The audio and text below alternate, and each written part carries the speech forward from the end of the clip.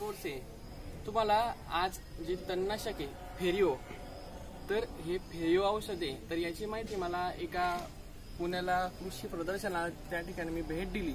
तर त्या स्टॉलवर गेलो असताना त्यांनी याची माहिती सांगितली की हे जे तणनाशक आहे तर ते अमोनियम बेस असल्यामुळे या तणनाशकापासून कॅन्सर सारख्या महाभयानक आजारांवर शेतकरी मात करू शकतो किंवा ह्या तणनाशकमुळे शेतकऱ्याला कोणत्याही प्रकारची इजा होत नाही. ज्याप्रमाणे आपण पिकांची काळजी घेतो त्याप्रमाणे शेतकऱ्यांनी आपल्या स्वतःच्या आरोग्याची सुद्धा काळजी घ्यायला पाहिजे. मी गेल्या वर्षी वर्तमानपत्रात एका अमेरिकेच्या एका लेखकाने लिहिलं होतं की बाजारात अनेक प्रकारचे तणनाशक उपलब्ध आहे. तर या तणनाशकांचा अति प्रमाणात वापर जर केला तर त्या ठिकाणी एका शेतकऱ्याला कॅन्सर सारखा महाभयानक आजार झाला होता.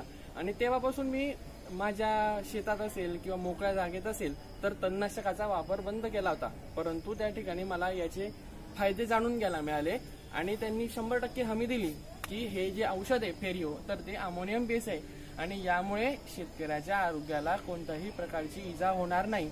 म्हणून मी प्रायोगिक तत्वावर प्रतिपंप एकशे वीस एम एल मोकळ्या जागेत फवारणीसाठी फवारलं तर याचे रिझल्ट मला शंभर टक्के मिळाले.